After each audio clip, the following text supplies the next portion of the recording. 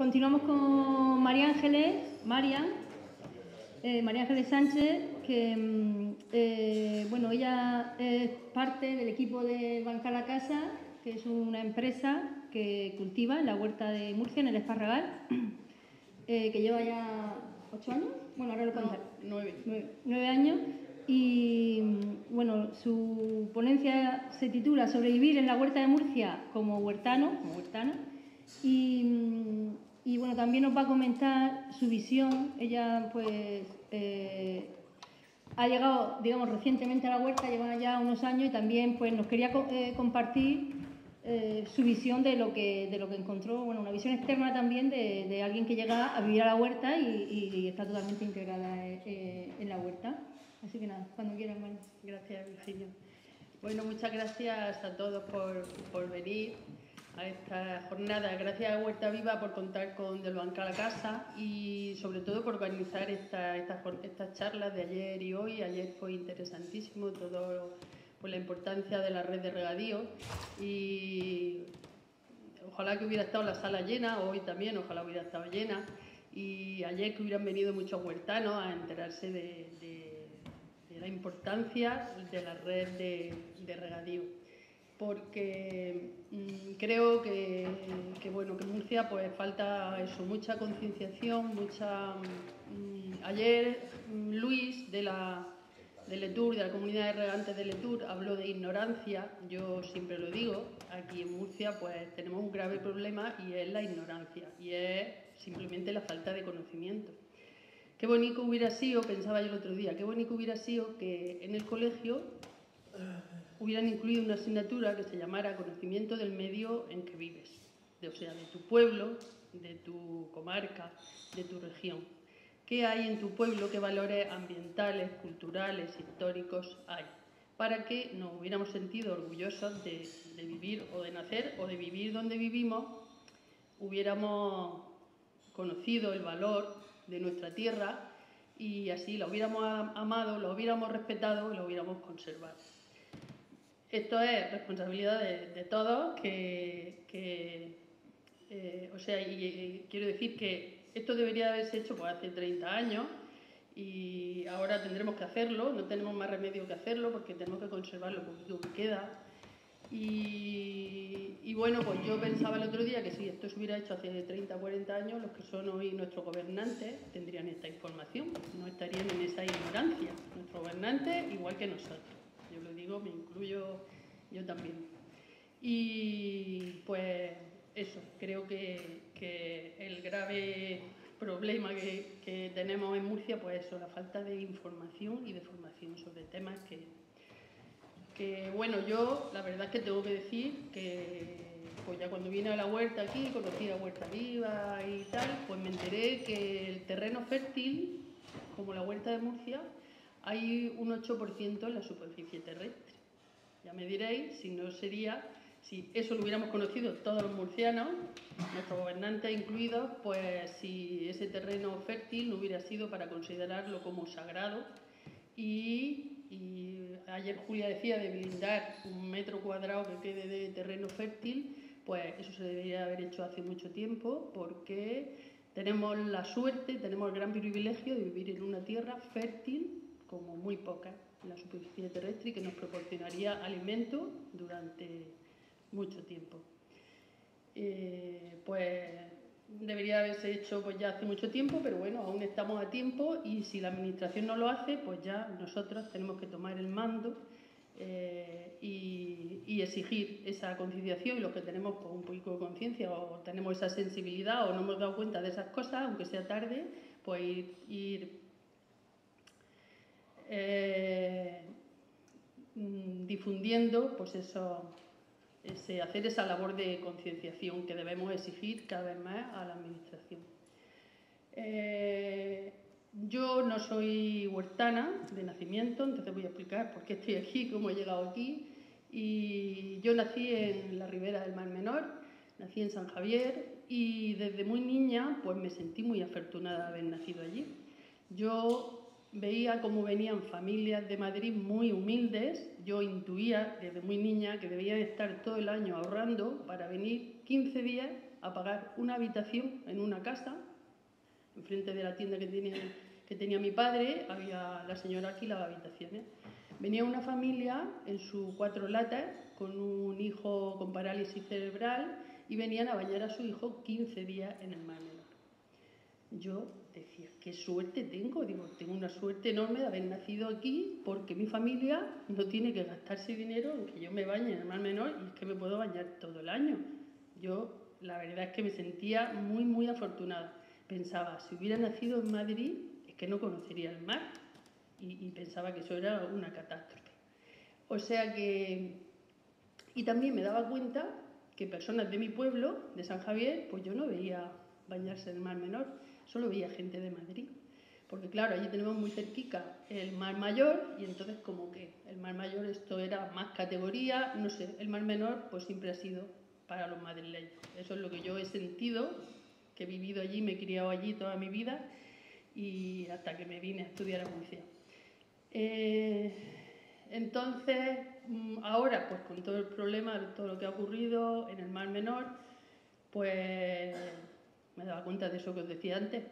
Qué bonito hubiera sido que en el colegio nos hubieran enseñado que teníamos una joya ambiental. Pues el presidente de nuestra comunidad sabría que teníamos una joya ambiental desde hace mucho tiempo y hubiera, quizás hubiera hubieran sucedido las cosas de manera diferente. Además de que todo el pueblo hubiéramos sabido esto y, y no hubiéramos levantado el sillón mucho antes.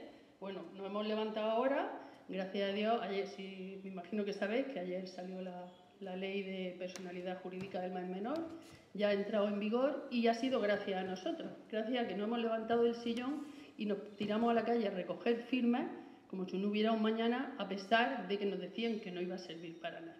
Bueno, sí va a servir y con el tema de la huerta tenemos que hacer lo mismo. O nos levantamos del sillón o la poca, que huerta, la poca huerta que queda se va al garete. Entonces, en Murcia es que somos también pues, muy cómodos y, no sé, nos conformamos con, con, lo que pasa, sea lo que sea. Eh, entonces yo mm, no soy huertana de nacimiento, llegué eso hace como 7, 8 años a la huerta y y como presentación mía, pues pongo aquí esta imagen que se llama Mar y Tierra, porque el otro día, pues como nací en la ribera, el verano para mí está unido a las chanclas, pues soy una huertana que todavía está en el verano en chanclas. El otro día, ingenua de mí, después de haber llovido, me fui a quitar cañota allí, que se nos está metiendo en un cacho, y bueno, pues aquello era un poema, las chanclas con la, con, la, tierra mojada, con el barro, aquello parecía en ventosa y me hizo muchísimas gracias y dije, qué ridícula que soy.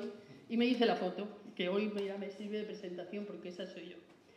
Y me vine a vivir pues, pues a la acequia Pitarque, ni más ni menos. Esa es la fachada de nuestra casa y esa es la acequia que tuve el, la suerte de ver paseándose por, por nuestra puerta.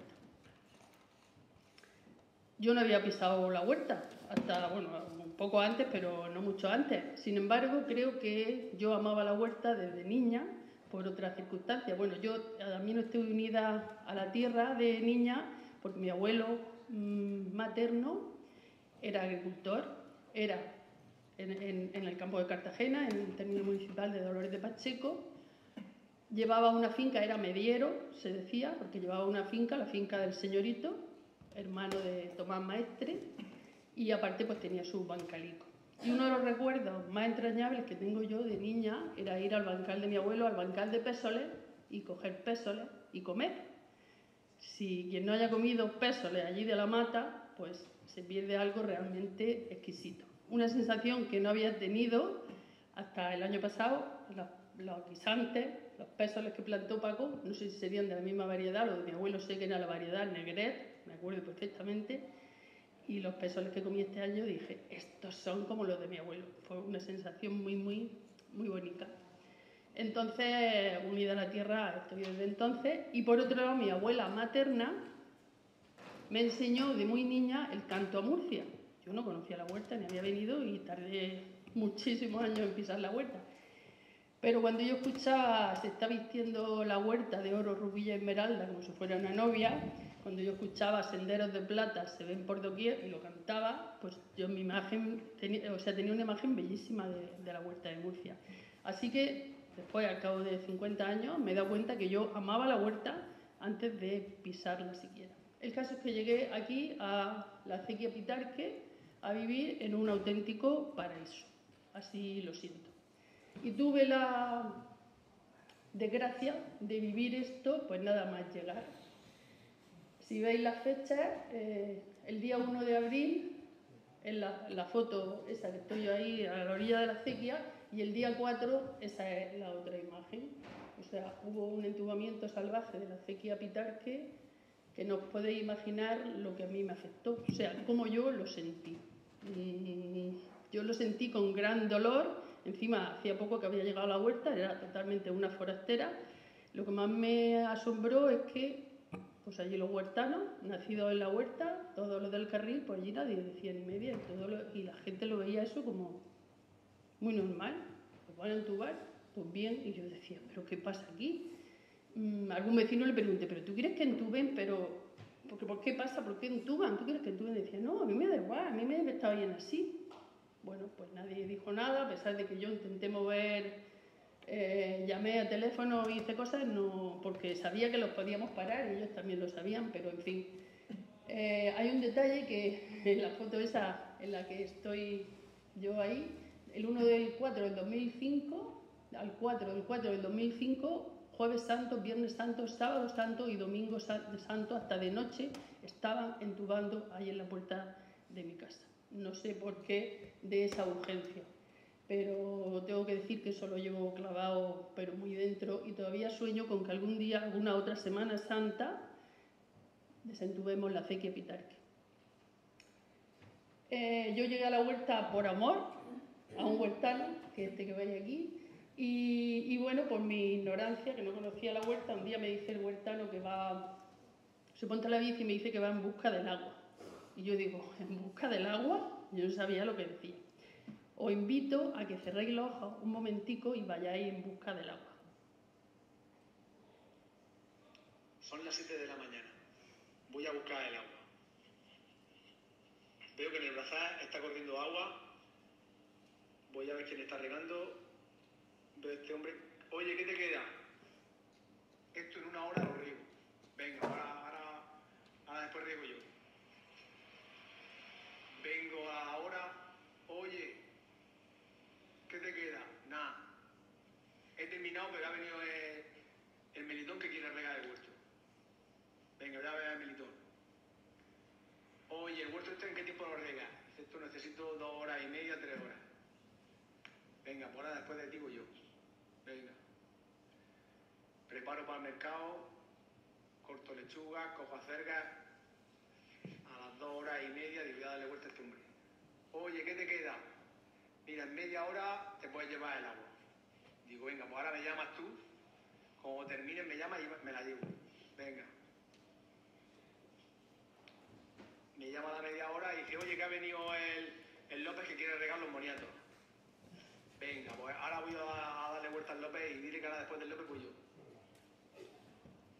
Sigo recolectando el mercado, subo las cosas a la cámara. A las dos horas, ya estos son ya las, las 12 de la mañana. Voy a ver al López. Oye, ¿qué te queda? Ya me queda. Me queda por lo menos casi una hora. Venga, cuando termine me da un toque. Venga. Pongo a quitar hierba a las lechugas, pendiente al agua, pendiente a ver quién entra por aquí. A las dos horas, a la hora y pico voy a darle vuelta. Oye, ¿qué te queda? Nada, me queda aquí un cuarto de hora por ahí. Venga, dame un toque, llámame y, y ahora ya me quedo yo el agua. Venga. Venga, parece que voy a regar yo. Tengo la tanda de las 6 de la mañana a las 5 de la tarde. Parece que me va a tocar a mí cuando veo llegar un tractor con una bomba. Madre mía, este, este, el payaré este va a poner la bomba aquí. Cuando pone la bomba yo ya me quedo sin agua. Oye, ¿esto en, qué tiempo rega esto? Poner la bomba media hora, mientras pongo la bomba esto en una hora se riega. Las dos y media, ya pendiente ahí al agua, Bueno, termina de regar, son las tres y media. Bueno, parece que voy a regar yo. Parece que ahora. A todo esto que viene uno también, oye, que es mi tanda, que tengo que regar el cilantro este que tengo aquí. Digo, chacho, yo toda la mañana pendiente del agua, tengo que regar la lechuga esta que tengo aquí. Digo, espérate y ahora después regas tú. Joder, digo, sí, es tu tanda, pero yo estoy pendiente del agua, digo, y esto tengo que regarlo. Venga, empiezo a regar yo a las tres y media de la tarde. Empiezo a meter el agua. Al parece que voy a regar, parece que esto me va a dejar. Mira, que mañana. Termino de regar las 4 de la tarde. Y, ya le dejo el agua al marroquí que riegue su cilantro. Madre mía, bueno, por lo menos he podido regar. Esto me recuerda a mí cuando mi padre se tiraba toda la noche regando y llegaba y le decía a mi madre, bueno, ¿has podido regar? Dice, sí. Dice, bueno, por lo menos has regado después de toda la noche.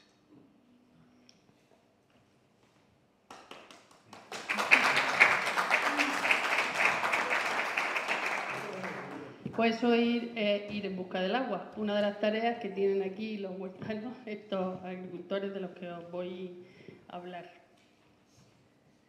El, el regadío tradicional, pues la verdad que es muy bonito, muy interesante, no se consume ninguna energía y es un sistema hidráulico perfecto y tiene pues estas cosas. Hay que estar pendiente del turno, de que venga otro, de que me roban el agua, de, de ir en busca del agua, que yo decía, en busca del agua. Pues eso es. El- en septiembre de 2013 comenzó el proyecto del Bancal a Casa. Eh, Alfonso Ruiz es ingeniero técnico agrícola y él tenía un bancal de su abuela, había un bancal abandonado enfrente del colegio del Esparragal y pensó que, si, que cultivarlo pues sería un medio de, podía ser un medio de vida, pero no tenía experiencia como agricultor. Eh, un amigo le dijo, espérate que yo te voy a presentar a alguien que sí que es agricultor, voy a presentártelo. Pues efectivamente le presentó a Paco, que sí que es eh, huertano de nacimiento, agricultor, eh, era pues de autoconsumo, porque había tenido otros trabajos anteriormente que no había sido agricultor, porque su padre, huertano agricultor de toda la vida, pues no quería que su hijo fuera huertano, no quería que fuera agricultor. Y bueno, eh, en este momento él sí que estaba cultivando para él y ya llevaba un, un bancal de una vecina. Y, y nada, hablaron y Paco le dijo, ah, pues sí, digo, sí, cultivamos pero ecológico. Y Alfonso dijo, ¿cómo, cómo ecológico? Eso va a ser muy complicado. Pero bueno, como para Paco no había otra opción posible, pues a los pocos días estaban eh, preparando los portillos y el sistema para regar el bancal y plantando lechugas. Esto fue en septiembre de 2013, o sea que ahora mismo acaban de cumplir eh, nueve años. El- y el, mm, el proyecto del Bancal a Casa, pues después de nueve años, o sea, ha sido muy duro desde el comienzo, ahora vamos a hacer un poquito de recorrido, pues después de nueve años todavía intenta sobrevivir. Eh, Alfonso eh, empezaron a cultivar sus le- lechugas, o sea, de, de temporada, lechugas, acelgas, pavas, repollos. Y Alfonso hubo un momento que dijo, ay, espérate que no podemos decir que nuestras verduras son ecológicas, porque nosotros no estamos certificados con el sello oficial del CAE y no podemos decir que son ecológicas nuestras lechugas. Entonces Paco pues, tuvo la ocurrencia de decir, ah, pues nuestras lechugas son lechugas felices. Pues bueno, y así, y, así las vendían como lechugas felices y de manera que surgió la marca Verduras Felices, que es una marca que está registrada, igual que del Bancal a Casa. Y bueno, pues para para nosotros la marca Verduras Felices pues tiene mucho significado y tiene mucho que ver con el alma de, este proyecto. Ahí he escrito yo que verduras felices para, para que las personas sean más felices y, y bueno, pues esto es como no sabemos si fue antes el huevo o la gallina. No sabemos si es que las personas son más felices porque vienen a comprar del bancal a casa o, o vienen al bancal a casa porque son felices. El caso es que, pues bueno, nosotros siempre hemos ofrecido cosas diferentes, como por ejemplo las cercas de colores y otros productos que ahora, que ahora veremos. Como que del bancal a casa, pues bueno, desde el inicio, mm, eh, cuando empezaron Paco y Alfonso, pues lo que hacían era cultivar sus lechugas, su acelga y tal, las cogían literalmente del bancal, las echaban al coche de Paco y se iban a repartirlas a... eh, su herramienta de trabajo era además del peso este que tiene aquí, ese peso que veis ahí en la mano, ese era el peso con el que ellos funcionaban. Eh, su herramienta era el WhatsApp y el correo electrónico. De eso se encargaba Alfonso, porque Paco el WhatsApp lo estrenó entonces por necesidades del guion. Y, literalmente cogían las verduras del, del bancal y las repartían en su, eh, en el coche esa tarde y creo que la primera semana, o sea, la primera venta que hicieron, la primera, el primer reparto, pues vendieron 30 euros. O sea que ese mes, si el reparto fue así, pues ese mes a lo mejor vendieron 150 o 200 euros. Imaginaros, y ellos estaban ellos dos solos, pues trabajando de sol a sol y más, aparte de ir a buscar el agua, pues y cultivando agroecológico. claro, el cultivo agroecológico pues no tiene nada que ver con otros cultivos que hay en la huerta de Murcia, la mayoría, por desgracia. Como decía antes, si tenemos una tierra que debería ser considerada sagrada, que deberíamos de cuidar y conservar, pues no la deberíamos estar envenenando. Eh, eh, si veis ahí esos bancales, hice yo, yo la foto el otro día, que se ven así verdeando, pues todo eso que verdea son las hierbecicas que hay que quitar no es el cultivo. O sea, entre eso están las, lechugas recién plantadas, como llovió, la, hierba salió, vamos, como... Y, aquí en, pues, pues aquí en Del Banca la Casa no se utiliza malla antihierbas, plástico ni nada de eso. Hasta el momento eso no se ha usado. Aquí esto es, yo digo que es artesanía pura y dura y esto es a golpe de rasqueta, pues ahí está Pepe, es nuestro herbicida, él se pasa todas las mañanas quitando hierbas con la rasqueta y ahí está también Tino, también está ayudando. Otras veces Paco, entre que busca o no busca el agua, pues también a quitar hierbas. Entonces esto es artesanía y son horas, muchas, muchas horas de, trabajo que luego pues no se ven no se ven recompensadas realmente con el precio de, los productos. Ayer decía Luis, el de la comunidad de regantes de Letour habló de los tomates, ellos, ellos cultivan para autoconsumo, que con unos tomates cultivados por uno mismo, pues como que eso no tiene precio, que si tuvieran que venderlos, que los venderían a 20 o 50 euros el kilo, dijo él. Claro, en Banca la Casa se cultivan tomates, variedades tradicionales, como ha, comentado Rafa, eh, quitando hierba a mano, haciendo agroecología y se venden a 3,90. Yo creo que el precio no es justo, aún así a las personas les parece le parece caro. Con lo cual, el, proyecto está intentando sobrevivir a los nueve años. Eh, de Banca la Casa tuvo la suerte de poder acceder a un puesto en el mercado y, bueno, y así poder llegar a muchas más personas. Realmente todo el mundo que en el mercado, todo el mundo nos conoce. Si alguien, eh, hay personas que vienen buscándonos y dicen, ay, no encontraba, el mercado de la fama es muy grande Ahora, no sé, ahora me imagino que hay menos puestos, no lo sé, pero antes había 700 puestos, en 700 puestos solo uno de verdura ecológica. Y, bueno, la gente iba preguntando, Ay, porque no estamos en la avenida principal, estamos en una calle lateral y a veces pues nos, nos buscan, a pesar de que en nuestra web está el plano. Y, pero si pregunta un puesto ecológico, pues todo el mundo sabe ya quiénes somos los, los ecológicos, ¿no? O sea que somos muy famosos, somos famosos por muchas cosas porque el Banca la Casa pues, es una, un, proyecto muy singular. Una, un miembro del equipo es Trigueña, nuestra mula, mm, bueno, con la que pues, se conserva una tradición y, y bueno, pues una estampa en el paisaje de la huerta que se ha perdido. Cuando está la mula trabajando, haciendo alguna tarea, pues a veces hay huertanos mayores que están allí con la boca abierta, embelesados, pues creo que, me imagino que les recuerda a, su, a, tiempo atrás y, y, bueno, con Trigueña, colabora en tareas de hacer los caballones, con la ventaja de que no se compacta el terreno. Si el, el día 8, dentro de esta Semana de la Huerta y visita allí al bancal. Si vais, pues conoceréis a Trigueña y Tino, que es el mulero, el dueño de Trigueña, explicará por qué, cuáles son las bondades de trabajar con la mula, mucho más allá de la estampa romántica que yo decía. La mula también quita hierbas, se alimenta de verduras felices, abona el terreno, es una mula tremendamente feliz, está muy bien cuidada. A veces nos han dicho que hay veganos que nos dicen que no pueden comer nuestras verduras felices porque esto es maltrato animal. Bueno, la mula es el miembro del equipo que menos trabaja y que mejor alimentada está, pero con diferencia. A los niños les encanta trigueña y a trigueña también. En las jornadas de puertas abiertas pues también se hace actividad con, con trigueña.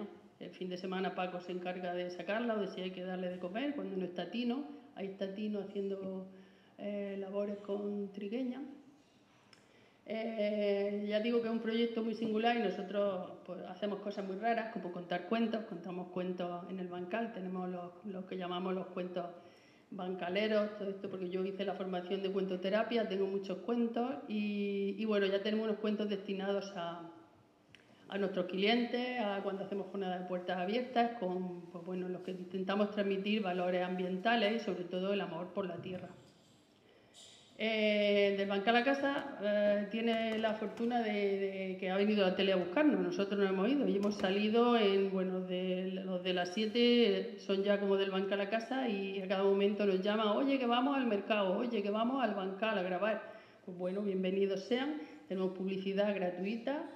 Eh, la primera vez eh, salimos fue en España Directo, en la 1, pues eso fue toda una fiesta. Eh, también hemos salido en Aquí la Tierra y en El Escarabajo Verde, que es el, programa preferido de Paco. Pues hemos salido, me parece que dos veces. Todo esto ha sido sin buscarlo y realmente pues, ha sido una suerte tener publicidad gratuita.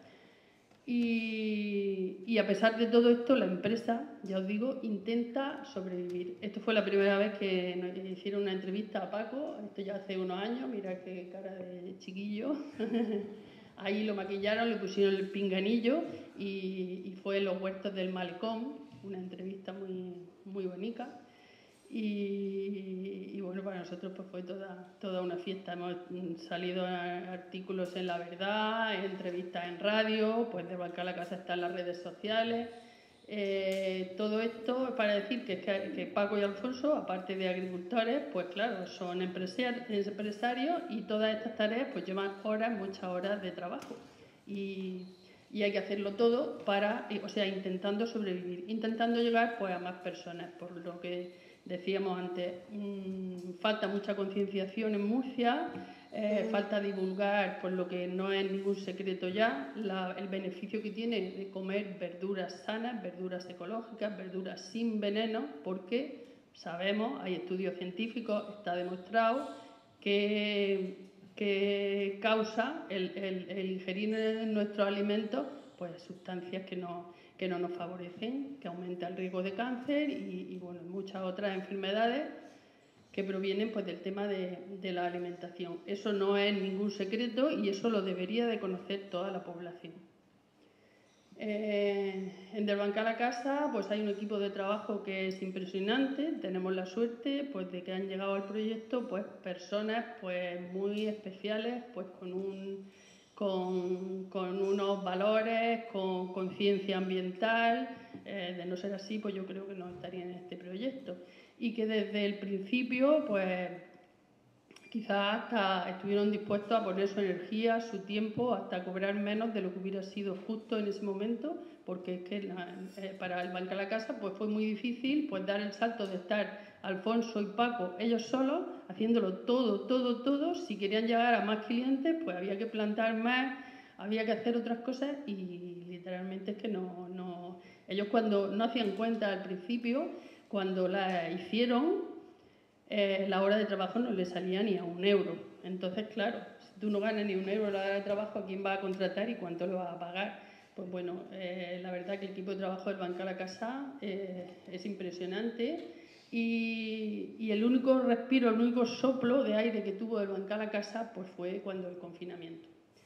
en ese momento el Banco a la Casa ya tenía una página con tienda online, ya estaba montada la tienda online, con lo cual pues se pudo llegar a muchísimas, muchísimas personas. Eh, no solo nuestros clientes, o sea, nuestros clientes ya compraban online, había otros clientes del mercado, se sumaron a la compra online en ese momento, pero no solo ellos, sino sus padres, sus hijos, y, bueno, pues nuestro equipo de trabajo, eh, hicimos todo un trabajo impresionante, hicimos dos turnos de trabajo, eso fue una locura a, cuántas personas pudimos llegar con las verduras felices. Eh, y nuestros trabajadores, pues en ningún momento supusieron, desde el primer día, cuando la, la el, se me ha olvidado la palabra, en, pleno confinamiento, desde el primer día del confinamiento, en ningún momento se opusieron a ir a repartir verduras cuando se supone que no nos podíamos acercar a las personas, pues bueno, con todos los medios de protección, con todos los protocolos, fueron a la puerta de la casa de las personas, lo dejaban en una caja, tal. Eh, de Banca la Casa no para de hacer cosas con la idea de intentar sobrevivir, de, de mantener pues, los trabajadores que hay, que hay que pagarles cada mes y, el problema es que no se mantiene el nivel de consumo durante todo el año. Bueno, lo del confinamiento fue un boom, pensamos, esto aquí vamos a levantar cabeza, pero bueno, luego eso bajó, no, se quedaron todos esos clientes. De Banca a la Casa recibe clientes nuevos cada semana, pero es que otros desaparecen. Y en verano es una catástrofe. En verano, pues hay que pagar a los trabajadores vacaciones, todo, y pues igual los socios, los jefes, entre comillas, porque son trabajadores igual que el resto, de, pues si no cobran, no cobran.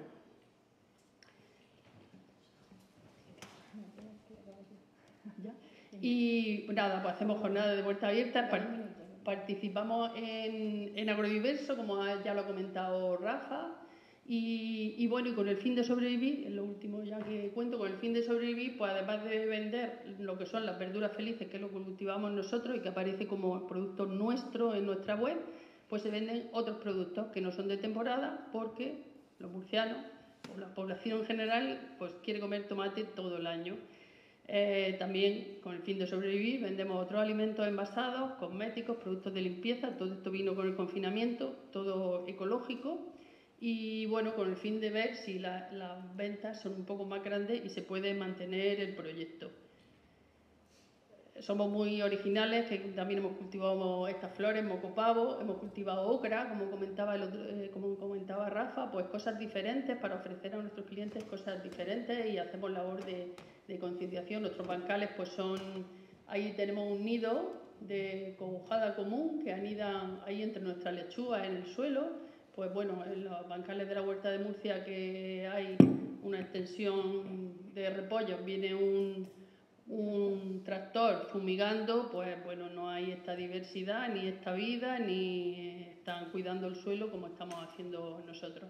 Hacemos tareas de concienciación, como bien hoy, vive bien mañana, eh, del bancal para dar de forma natural. Las personas piensan que es más caro, pero es más caro o que es más sano, entonces es más caro hasta qué punto, depende de qué, en qué priorizamos, en qué no gastamos nuestros recursos.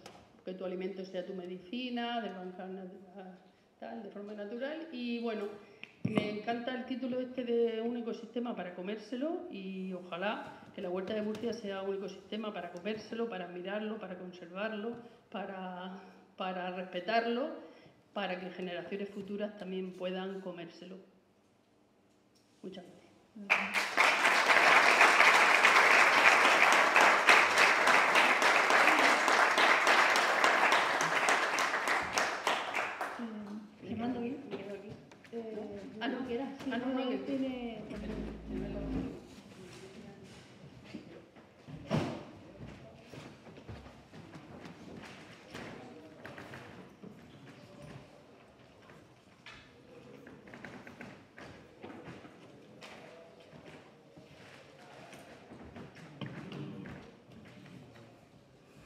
Bueno, nuestro último ponente es Fernando Miguel García, es arquitecto y profesor de la Universidad Politécnica de, Cartagena.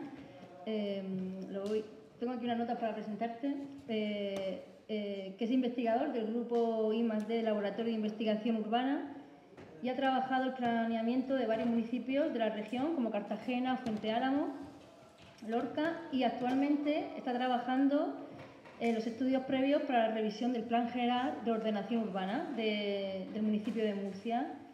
Entre sus líneas de trabajo pues, están las que tienen que ver con nuevos modelos urbanos vinculados al desarrollo sostenible y al reconocimiento de espacios urbanos y rurales como infraestructuras verdes, eh, soluciones basadas en la naturaleza, etc. su ponencia, bueno, la hemos titulado Diagnóstico del Plan General de Ordenación Urbana, Estado del Espacio Agrario de la Huerta de Murcia, porque queríamos, eh, creemos que es muy importante que nos dé la visión técnica de, cómo está la huerta y pues, lo que hemos hablado al principio, qué espacio tenemos, cuánto queda para cultivar y, bueno, a ver si todas nuestras iniciativas que, queremos poner en marcha es posible o, no. Y, bueno, pues cuando quieras, Fernando. Bueno, muchas gracias a vosotros, a Huerta Viva, por la invitación. Eh, buenas a todos. Eh, éxito, eh, Virginia parecía un poco, sí, Virginia, eh, María Ángeles, con, los problemas de, esta, de estos asuntos, yo todas las experiencias anteriores, pues la verdad es que estaba pensando ahí que tengan, que tengan éxito. vale, efectivamente, bueno, la conferencia o la charla voy a tratar de, ser breve y adecuarme un poco porque no sé, no soy exactamente, no soy huertano. Eh, yo nací en Salamanca, aunque llevo en la región de Murcia bastante tiempo, pero en Murcia eh, llegamos ya cuando yo tenía 8, años, ¿vale? No vivo en la huerta, y, pero bueno, vivo en Murcia aunque trabajo en, en Cartagena. Eh, habíamos, bueno, se había puesto este nombre inicial de diagnóstico del Plan General de Murcia, el estado del espacio agrario. Como estas cosas, luego cuando te pones a prepararlo, te das cuenta realmente cuál es el orden, porque quizá iría más al revés, ¿no? Sería una conferencia que, hablaría, una charla, perdón, que hablaría del estado del espacio agrario de la Huerta de Murcia como un diagnóstico, ¿vale? Para poder hacer un, plan general. Eh, algunas cuestiones, un poco de contexto, como muy básico que sabemos, pero que me gusta eh, eh, marcarlo en las, en las charlas porque al final es cosas que luego se utilizan. Pues bueno, la huerta de Murcia eh, es la huerta de Murcia, pero es parte de todo un espacio agrícola que va mucho más allá que, la propia huerta de Murcia y que une pues, todos esos espacios agrarios que aquí, poco con fotografías satélites, pues están resaltados tanto de todo el espacio, todo el Valle del Guadalentín como el Valle del Segura y la desembocadura también de la parte de la, de la Vega Baja, con lo cual es un elemento o es una parte de un, espacio mucho, mucho más grande. Eh, a nivel urbanístico, quizá uno de los problemas que plantea, de los retos que plantea, es la escala que tiene. ¿vale? Esto es imagen de la huerta de Murcia, se ve más o menos lo justo, ¿vale? y esto es imagen a la misma escala de Barcelona, ¿vale? O sea, al final este espacio agrícola de la Huerta de Murcia, pues eh, en cuanto a tamaño, complejidad, pues, pues tiene una, una, superficie similar a de todo el área metropolitana prácticamente de, de Barcelona. Eh, formación de este espacio agrícola, pues eh, a base de esa eh, investigación de Francisco Calvo de la Universidad de Murcia pues, sobre la formación de la Huerta de Murcia, siempre lo hablaba, ¿no? de una lucha entre convertir este, de generar unas acequias que permitiese, una red de riego que permitiese poner en tierra el cultivo y a la vez pues luego ir asimilando y adaptándose, siendo un poco resiliente a las frecuentes inundaciones que iban sucediendo y pues ir poniendo también una serie de soluciones a las inundaciones. Eh, en los tiempos más recientes pues, se, ha visto afectada eh, a nivel urbanístico también principalmente por toda la aparición de esas edificaciones dispersas que conocemos y que ha generado pues, este paisaje un poco completo y un poco híbrido eh, que tenemos. No es un, ya es un espacio puramente agrario, sino que también un espacio donde hay bastante población y que genera estas imágenes en las que bueno, está todo mezclado. ¿no? Si en una ortofoto, en una imagen aérea cuesta verlo, cuando estás a pie también cuesta verlo, pues en esta especie de vistas es un poco eh, a vista de pájaro también, también ¿no? cuesta distinguir dónde empieza la huerta, dónde están las edificaciones, están los núcleos urbanos, este espacio que es un poco híbrido y encima de toda esa escala. Eh, y que es un paisaje de paisajes creo que a nivel de, paisaje, espacio agrario, de esta mezcla que hay entre el tejido agrario inicial y, lo que se ha ido generando en las edificaciones, pues hay distintas huertas, ¿no? No es lo mismo eh, la huerta oeste que la parte de la huerta este, que zonas eh, que también son agrícolas con, mayor, con parcelas más grandes, ¿vale? El tamaño del parcelario, del nivel de, de densificación que han tenido para esas construcciones, digamos que la huerta al final es poco a lo que quería llegar, como un, ente, un, territorio un poco complejo al nivel urbanístico. Eh, nosotros en el grupo de investigación eh, de la Universidad Politécnica de, Cartagena, somos del área de urbanismo dentro de la Escuela de Arquitectura. Pues bueno, empezamos trabajando en un proyecto de, investigación eh, del cual pues acabó saliendo el libro de, y la exposición de Cinco Palmos, en el cual pues fundamentalmente tratamos de analizar todo el proceso de dispersión de edificaciones en la Huerta de Murcia a nivel histórico pues, eh, identificando cada una de las ortofotos históricas las edificaciones actuales, como cuál era el primer momento que aparecían, y así pues, ir pudiendo hacer el seguimiento. ¿vale? Esto es un ejemplo de la Huerta Oeste, que era la escala que lo requeríamos para verlo, ¿vale? y van apareciendo en rojo como las edificaciones nuevas en cada uno de los periodos. Entonces eso nos permitió, por un lado, ponerle un poco unos números a, a, esta, a este proceso, eh, que, bueno, que había provocado que que desde 1929 hasta cuando hicimos aquel trabajo en el año 2015, pues la el número de, eh, superficie, de la superficie edificada de viviendas y otros usos pues se hubiese multiplicado por 12 ¿vale? en, en, menos de 10 años. ¿vale? Y también ahí pues vimos eh, pues cómo la intensidad del, proce del, proceso, si va subiendo y va bajando, las distintas eh, eh, intensidades en las distintas zonas de la huerta y también empezamos a trabajar un poco con la morfología que quedaba, ¿no? que pasaba con ese territorio, que ya empezaba a ser muy singular a nivel urbanístico, ¿no? ya no era un tejido urbano puramente, que mejor estábamos más acostumbrados, no era un tejido agrario 100%, entonces pues había que pues, empezar a tener un poco eh, criterios propios de ordenación. Trabajamos después con el ayuntamiento en un primer convenio que, para realizar el, el, programa de vigilancia ambiental del, del, Plan General de Murcia, en que seguimos trabajando un poco en esta línea aunque como detallando un poco más el último periodo, ¿no? el periodo en que el Plan General de Murcia había estado vigente, ¿no? desde el 2002, que estas eran las edificaciones que había construidas en esa época, no sé si las imágenes se ven eh, bien o, o, mal, ¿vale? y luego pues el, el, incremento que había, que había seguido hasta el 2017, que fue cuando hicimos ese primer trabajo. Aquí, bueno, pues contextualizar dentro de ese procedimiento la situación actual, en aquel momento pues es cierto que durante todo ese periodo de vigencia del Plan General del 2002 a la actualidad, el ritmo ha sido muy alto. Eh, había como unas 3.000 y pico viviendas eh, o parcelas más ocupadas por edificaciones en, toda, en la huerta de Murcia. Pero luego por periodos, pues es cierto que el primer periodo coincidente de la burbuja inmobiliaria hasta el 2007, el ritmo era como, bueno, fueron 511 eh, viviendas ocupadas al año, ¿vale? Un poco tratábamos de ponerle un, un, poco un contexto de ritmo y sin embargo en el último periodo había bajado mucho, ¿vale? Con lo cual, oye, dentro de que estamos en ese proceso, pues quizá tampoco estábamos, está, también estábamos en un buen momento para, para también plantearse soluciones porque esa presión eh, en este momento tampoco era, era tan alta, ¿vale? Y bueno, y ese proceso que había generado una, como una colmatación de los suelos, de suelos urbanos especiales a lo largo de los caminos, que bueno, pues iban acumulando por, por esa agrupación de ese proceso de edificación continuo una gran cantidad de, de, edificaciones, pero ya como que no vemos que hay algunos que eran, esa densificación había sido más alta y otros más baja. En el convenio con el que estábamos trabajando ahora con el Plan General de Murcia, que era un poco pues, tratar de definir un poco líneas o, un poco modelos para trabajos previos para un diagnóstico del plan general y una posible revisión, pues nos estuvimos centrando en, oye, cuáles son los espacios y elementos que componen ese tejido agrario que desde un punto de vista urbanístico pueden ayudar a hacer la ordenación. ¿no?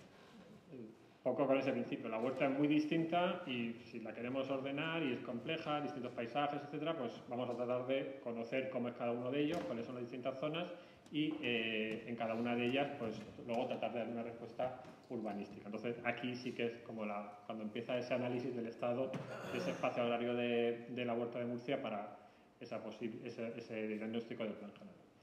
Y aquí hemos pues, estado trabajando en cuatro, como en cuatro componentes, ¿no? lo que tiene que ver con, con, el agua, con el patrimonio, con edificación y con cultivos, que digamos, a nivel urbanístico es lo que hay ahí, ¿no? Desde luego hay personas, evidentemente no me, no, no me olvido de ellas, hay, eh, hay animales, hay muchas cosas, pero bueno, a nivel urbanístico quizás son los, los factores que, que, interesan.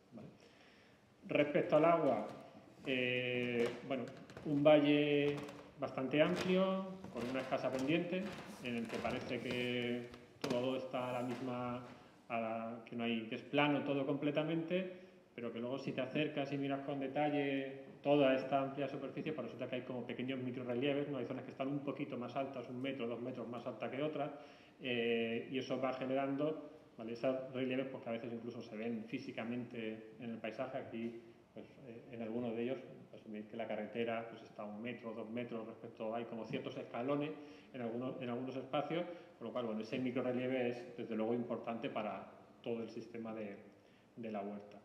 Y a nivel del valle, pues genera, por un lado, que la parte, el río que lo atraviesa, el río Segura, pues eh, tiene como dos secciones distintas en la, antes de la ciudad y después de la ciudad, es decir, aguas arriba y aguas abajo de la ciudad. Aguas arriba es, tiene un típico valle aluvial de inundación, ¿vale? es decir, el río va en la cota más baja, luego hay una zona un poquito sobrelevada y luego digamos que el resto de la huerta está todavía un poquito más elevada, con lo cual en el momento que la huerta se inunda, perdón, que el río crece y se inunda, pues ocupa esa parte marcada en azul en la imagen, mientras que luego en la parte este eso no sucede. ¿no? Eh, hay una plataforma sedimentaria de, las inundaciones que ha habido en el río Segura, entonces el río, eh, pues en ese caso ahí pues realmente no, no, llega a salirse, sino que las inundaciones también que se producen pues se acumulan sobre todo en lo que eran los antiguos marjales eh, históricos, por supuesto de hace mucho tiempo desecados, ¿vale? pues esas zonas tanto al sur y al norte del valle, perdón, del río en ese tramo final, que están un poco, o sea, los que estéis allí, los que viváis por allí, seguro que si lo sabéis está un poquito más, más hundido que el río y con lo cual el agua también queda en esas zonas estancadas. Eh, todo este microrelieve, evidentemente, tiene mucho que ver con la red de riego, eh, porque funciona por, por, gravedad, con lo cual no le queda otra cuestión que utilizar esos pequeños relieves para conseguir mover el agua durante kilómetros y kilómetros cuando la diferencia de cota es, es muy reducida y con ese sistema que bueno, ya, ya conocemos ¿no? de las acequias que riegan y que bueno, luego vierten sobre unos azarbes o azarbes que recuperan los, los excedentes de la lluvia, sobre todo para mm, regar luego tierras que estén ubicadas más abajo. ¿no? Evidentemente eso es un juego histórico, imagino que de prueba y error, fundamentalmente de haberlo, de haberlo mm, construido. Eh, de, bueno, de, hallar esa solución óptima para ir creciendo, para que la huerta también creciese desde su origen, al parecer, más evidentemente al este y que luego fue creciendo, al oeste, perdón, y que luego fue creciendo hacia, hacia el este.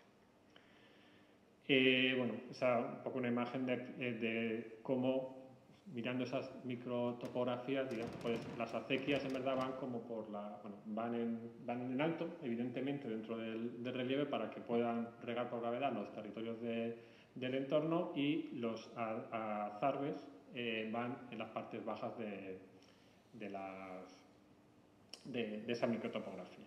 ¿vale? Claro, aquí ya pues empezábamos a ver cuestiones que se relacionaban, ¿vale? hemos visto dentro del agua, en los cauces habituales, eh, tanto los naturales como los cauces que tienen que ver con la red de riego y luego pues, los cauces o los lugares por los que fluye el agua en el momento de, de las lluvias. Eh, bueno, utilizando también los sistemas de, información geográfica, pues pudimos trabajar en definir un poco cuáles eran los canales principales de escorrentías, en los que no es un estudio hidráulico completamente, tampoco sustituye las zonas inundables de confederación, etcétera, sino que realmente lo, trata de, complementar para nosotros ayudarnos a hacer una lectura del territorio. con esos eh, flujos de agua pues también podemos obtener cuáles son las microcuencas, es decir, todas esas líneas negras pues son superficies que vierten a como un mismo cauce de correntía o que sus aguas cuando llueve acaban un poco en un, mismo sitio, ¿vale? con lo cual también todo el tema de prevención de inundaciones pues resulta interesante.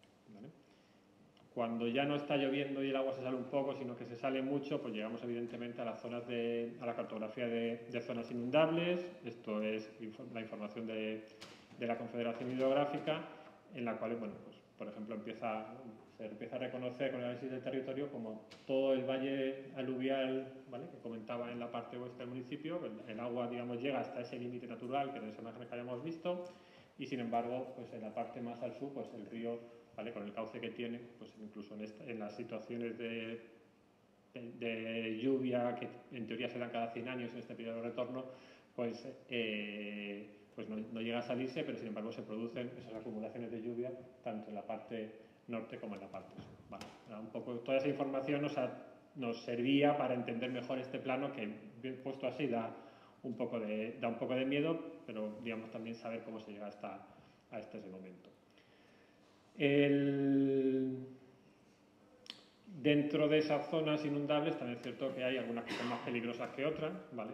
Aquí están marcadas simplemente las zonas que se inundan y que tienen más, de un metro de, agua, según esta cartografía de las zonas inundables, que es un, modelado, que digamos que serían las más mm, peligrosas que puede haber, no, no lo mismo que te mojes, que se inunde 20 centímetros, que te mojas un poco los pies, pero probablemente sea llevadero a que tengas un metro de agua que ya empieza a, poder generar problemas. ¿vale? Y bueno, está bien a coincidir un poco con eh, lo que también a nivel de la ley de aguas y de la y de la Confederación Hidrográfica, pues son las, zonas de, flujo preferente, es decir, aquellos sitios que son zonas inundables y que tienen un riesgo mayor. ¿vale? Eh, ¿vale? Eh, ¿Qué pasa, o un poco también opinión personal, ¿no? con esta, desde luego esta cartografía de zonas de flujo preferente, pues sabemos que está en, las noticias prácticamente de continuo, pues que en, en, un valle como el nuestro, con tan poca pendiente y con tantas zonas de, este tipo, pues resulta, creo que parece que da un poco de, o sea, paraliza un poco verla, porque es verdad que es un problema que, lo ves ahora y dices que no puede hacer nada, ¿no? O sea, con, este escenario tan, tan dramático.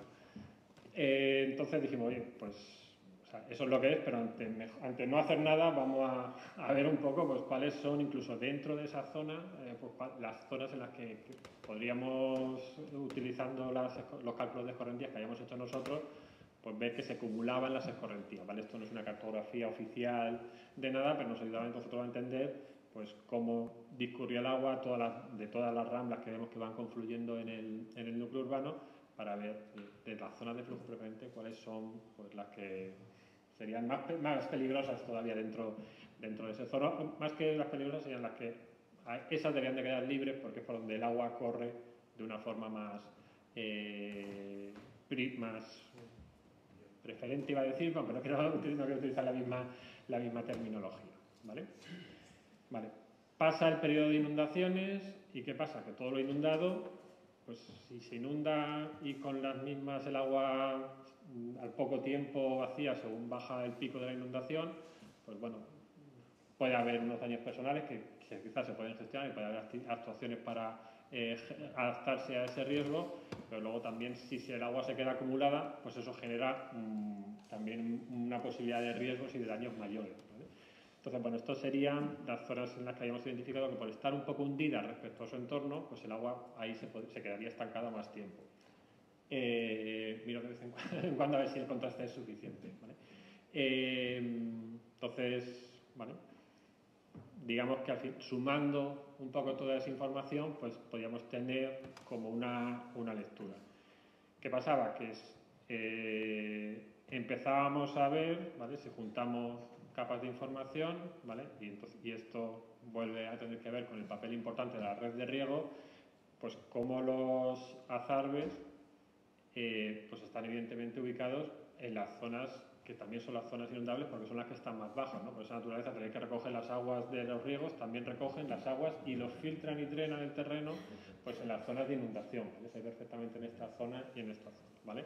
Con lo cual, pues bueno, mm, una eh, esa red de riego no solamente lleva el agua para regar, sino que también tiene un papel importante eh, evacuando el agua en las situaciones de, inundación, sobre todo en la parte este de, la ciudad, en todos esos antiguos marjales, como un canal eh, bastante amplio en, algunas zonas de, desagüe. Ok, segundo punto sobre patrimonio. Evidentemente, el patrimonio cultural, tanto bienes de interés cultural existentes, elementos que cataloga el propio plan general y elementos que en un trabajo que el ayuntamiento estuvo, ha estado realizando también, no lo hemos hecho nosotros, pues también una ampliación de elementos eh, eh, patrimoniales de la huerta, eh, de la huerta de ¿vale? Aparte de ese ¿vale? de todos esos elementos, ¿vale? la red de riego, alguna de las acequias está, comentábamos antes en el café, ¿vale? está incoada para que tenga esa declaración como bien de interés cultural, pero realmente toda esa red de riego que tiene ese papel eh, importante en la en, evacuación, pues también tiene un papel importante como patrimonio hidráulico. Con lo cual, bueno, pues uno de los trabajos ha sido también ir como encontrando esa, esa red de riego, dibujándola sobre las ortofotos, eh, explorando un poco hasta dónde llegan aquí. Pues hay acequias, hay brazales, hay de todo un poquito, pero y faltan todavía eh, elementos. ¿no? Hay un momento que, que es un poco imposible eh, pues ir persiguiendo el agua eh, por, toda, por toda la huerta. ¿vale? Y luego, que es a lo que venía, pues ese, todas esas acequias eh, o esa red de riego, pues al final estas son imágenes de, de una exposición que tuvo que ver sobre la red de, o los caminos del agua en, en Dondorma y bueno, son acequias también que tienen muy distintas características. ¿vale? Yo creo que está uno de las cuestiones que sería deseable hacer es pues irla, como hacer un estudio de todas las acequias a nivel patrimonial, qué características tienen, ¿no? Porque de repente hay momentos, no solamente la vegetación, sino hay momentos que sale un chorro de agua, O que cruza, parte del agua cruza por debajo de, de, la carretera, o se producen estas soluciones en mejor o peor estado de, de conservación, que, bueno, si fuese, eh, pues, no sé, decir, una obviedad, un castillo, pues lo tendríamos perfectamente caracterizado. También sería más sencillo, porque no serían cientos de kilómetros de, red de riego si lo sumas todo, ¿vale? Pero yo creo que este trabajo no lo hemos hecho, ¿vale? Lo hemos, mm, creo que, eh, pero creo que debería de, poder caracterizarse toda esa red de riego, ¿vale? En qué situación está actualmente, porque las situaciones dentro de ella son muy diversas, desde también pues las cosas que evidentemente si fuese un elemento patrimonial pues podría interpretarse como elementos discordantes eh, dentro de, ese elemento patrimonial y que habría que corregir ¿no? y, esa red de riego pues que a veces no es más que una zanja hecha en la tierra y no tiene como más, elementos eh, esa red de riego también va generando como una serie de espacios de, valor ambiental, eh, espacios singulares dentro de, de, la, de, la, huerta, porque al final, bueno, muchas veces son modestos, también por así decirlo, pero porque son pues, simplemente una acumulación de, de, la vegetación eh, que, se, que puede crecer gracias a la, a la, humedad del agua o esa acumulación de vegetación con, con algún pequeño espacio libre que, que haya quedado asociado, que, tampoco son tan frecuentes dentro de, de la huerta y bueno, espacios pero que tienen su pequeño interés ambiental dentro del, paisaje de, la huerta. Sobre la edificación, que es donde hayamos realizado esos trabajos previos en el, en el libro de, Cinco Palmas y en la exposición que, que, contamos eh, como conclusión del trabajo también, eh, pues una de, de las conclusiones que empezamos a hacer ahí un poco incipiente era como ver pues, de ese proceso de acumulación de las edificaciones pues, qué, había qué resultados había dado. Eh, yo aquí pues, me gusta, o sea, el planeamiento, si lo aplicásemos a un conjunto histórico, pues eh, identificaría pues, la zona que se generó en la época medieval, la que tiene que ver con el ensanche del siglo XIX y XX, la que tiene que ver con, con los crecimientos más recientes ¿vale? Y lo reconocería cada una de esas zonas y cada una de esas zonas les propondría una ordenación distinta. Pues en la huerta habrá que buscar un poco cuáles son las, las, diferentes zonas que existen. Entonces, bueno, eh, estuvimos trabajando en identificar eh, agrupaciones, eh, las agrupaciones de la huerta, cómo eran entre sí. ¿vale? Entonces, bueno, según la proximidad que tenían unas edificaciones a otra y un poco si era una agrupación que se formaba con un carácter más lineal a lo largo de un camino o con un carácter más puntual en un lugar concreto, bueno, pues también vemos que el paisaje se va siendo distinto, ¿no? Digamos, esto son esas agrupaciones lineales con una intensidad baja, ¿vale? Hay edificaciones, pero bueno, el paisaje que se genera, bueno, podría llegar a, seguir reconociéndolo como un espacio de huerta, ¿no? Evidentemente. Hay otras zonas que, bueno, Aquí traigo solo los ejemplos, no las cartografías, que habla de que son zonas que tienen una intensidad media, bueno, simplemente es por dividirlo en niveles, eh, de las agrupaciones y ya pues empieza a tener un paisaje distinto, ¿vale? Y bueno, pues cuando eso es una cuando esas agrupaciones lineales tienen una intensidad alta, pues esto más bien parece un pueblo y no tanto parece que estás en una, en una zona de vuelta. ¿vale? Además de esos distintos tipos de espacios lineales, veis que todo lo que estamos, lo que os pongo un poco identificar, bueno, ir dividiendo en zonas que tienen características distintas de la huerta según estos parámetros. Eh, pues también están algunos sitios que eran agrupaciones puntuales, ¿vale? dispersas en toda la huerta. Son cuestiones un poco de, de este, como estas que aparecen en las imágenes, ¿vale?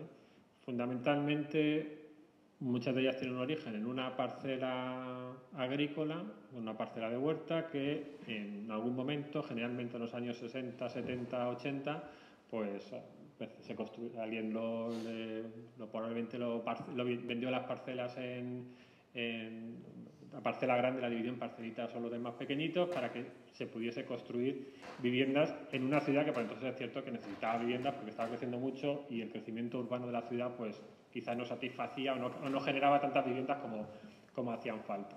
Entonces, bueno, eh, esas agrupaciones, que las hay bastante, ¿vale? Pues digamos una característica distinta, como un espacio con estas características distintas, ¿no? Normalmente esta vía transversal al camino que, en el que se generan y luego pues edificaciones a, ambos lados, ¿no?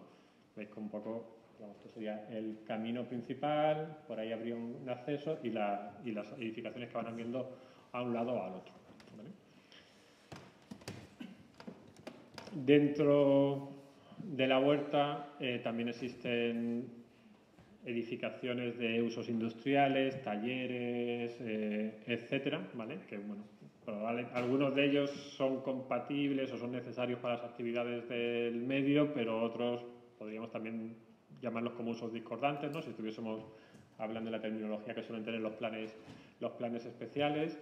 Eh, y bueno, y que incluso en algún momento pues esa acumulación también de naves industriales genera una especie de polígonos o han generado una especie de, polígonos un poco casi informales por acumulación de esas edificaciones. ¿vale? Okay. Por último, eh, lo que tiene que ver con los cultivos. El orden que lo he puesto no, no, no, me lo he planteado, o sea, como lo tenía de otras veces, ¿vale? No, sé por qué he empezado por, por una cosa y, no he empezado por los cultivos, ¿vale? Entonces, bueno, eh, tanto información sobre los, los, tipos de cultivo, ¿vale? Aunque son tantas parcelas y muchas de ellas no tienen ese uso productivo, con lo cual también las fuentes oficiales como SIPAC, Catastro, etcétera, que existen, pues muchas veces también pues los huertanos no lo comunican oficialmente, no es igual que unas grandes extensiones agrícolas y también la información es un poco eh, difícil de, trabajar. ¿vale?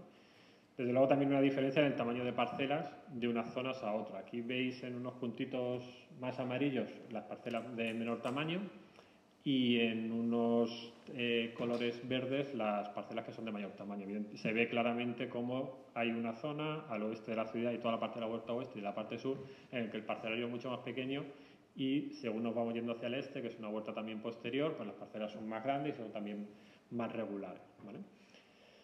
Eh, mezclando información sobre las parcelas que están, que están cultivadas y las parcelas que tienen edificación, pues empezamos a generar un poco estos, estas imágenes en las que bueno, aparecían en verde eh, las, las zonas donde había más, más parcelas de uso agrícola todavía, todavía pendiente, más superficie de, de, uso agrícola pendiente. Y también, eh, estas que se ven regular, son un poco abstractas, ¿vale? No, probablemente tenemos que trabajar un poco mejor en la visualización, pero también eh, aquí tratamos de representar zonas en las que hay parcelas que no están edificadas, con lo cual serían de cultivo, pero que están sin cultivar, ¿vale? Eh, bien por la información de SIPAS, un poco información visual. Entonces, también es cierto que empiezan a aparecer algunas zonas, especialmente en la, en la parte sur de la ciudad y en la parte sur también de la costera sur, bueno, en la parte este, verón de la, de la costera sur, donde, empieza, donde hay una cierta acumulación de parcelas que no están edificadas, pero que tampoco están en cultivo. ¿vale? Con lo bueno, pues a partir del tamaño de la parcela, de los cultivos, de si edificación o no, o de si están en cultivo o no, ¿vale? Pues también vemos, eh, fuimos identificando las, las, bolsas de cultivo, o sea, aquellas zonas, digamos, donde queda una huerta eh, más libre de, de, otros, de otros usos y que, bueno, digamos que estas zonas que parece que muchas veces también que, han desaparecido, pero ya siguen estando ahí, ¿vale? Quizás no en toda la, la huerta, pero siguen estando en, alguna, en algunas zonas, ¿vale? Y ahí, pues bueno, tratamos de, decir, de toda la información anterior, como deducíamos un poco, eh, zonas de cultivo productivo, ¿vale? con esas parcelas más grandes, menos edificaciones y, más eh, zonas de cultivo. Una zona de los cultivos históricos, está toda la parte de la huerta oeste y la huerta sur, eh, que todavía están en cultivos, que son bolsas un poquito más, más pequeñas, pero también tiene ese valor un poco histórico de que también es la huerta más, eh, más antigua de, todo el valle. Y otras zonas donde existen unos usos eh, dispersos, unos cultivos eh, dispersos, están en digamos, una situación intermedia de que hay, hay cultivos, pero también hay edificaciones. ¿Vale? Conclusiones, no sé cómo voy de tiempo, no sé si he sido muy rápido. Vale. vale. Vale. Ya veis un poco, el, se trata de a tratar de reflejar tanto en estos parámetros, tanto agua, patrimonio, edificación y, cultivos, hacer una lectura de cómo es este espacio agrícola para definir, identificar situaciones diversas y que eso sirva para que en una fase también posterior a este análisis que, he presentado, pues se pueda hacer un, el planeamiento urbanístico pueda reflejar estas cosas, ¿no? el papel que tiene cada una de estas zonas. ¿vale? He hablado dentro del agua, pues eh, los cauces naturales, los cauces que tienen con el riego, digamos las aguas que fluyen, que, corren habitualmente, también escorrentías cuando solamente llueve un poco, cuando eso llueve mucho, por, estoy así siendo muy simplista, pero para explicarlo rápido también, pues se producen las inundaciones y cuando la inundación pasa, pues es importante también el, el drenaje. ¿vale? Entonces, pues hay zonas que tienen importancia como cauce, como zonas de, escorrentías, otros como, como espacios como elementos que ayudan al drenaje, etc. He hablado de patrimonio cultural, hidráulico y ambiental, eh, tipos de agrupaciones, carácter lineal, con niveles de agrupación, eh, carácter más concentrado y las particularidades que van teniendo cada una de ellas, y también pues esos distintos tipos de zonas de cultivo, de espacios agrarios de cultivo, ¿vale? más productivo, el tradicional, el disperso, ¿vale? digamos que a partir de ahí no trae una imagen en lo que esté todo solapado, pero podríamos también como solaparlo todo en el, en el plano. Y además, digamos que también eh, la combinación de estos factores es la que plantea un poco eh, retos y, también objetivos. ¿no? Eh, la proliferación de edificaciones sobre cultivos ¿vale? Pues es lo que nos ha generado esa situación actual y quizá habrá que controlar esos dos parámetros para intentar reducir la presión edificatoria de la huerta y que no sigan apareciendo esos procesos, esos procesos de edificación, ¿vale?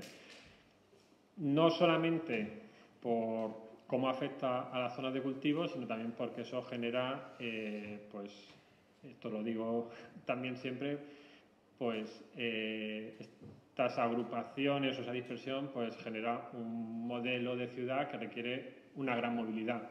Dotar de servicios a ese territorio, a la población que vive allí, y eso lo sabéis desde luego otros que soy huertano, con una tan baja densidad de población, pues es muy costoso y probablemente inviable o, inasumible por el ayuntamiento poder dotar y garantizar el acceso de toda una población tan dispersamente ubicada sobre el territorio. ¿vale? Eh, problema de movilidad, de uso del coche, necesidad de uso del coche, consumo de suelo, bueno, todas estas cuestiones que tienen que ver con modelo de ciudad, etcétera, que también quedan, eh, que quedan cuestionadas. Eh, la edificación con el agua, pues desde luego también es otro de los problemas que habrá que, que afrontar o que procurar corregir, ¿vale?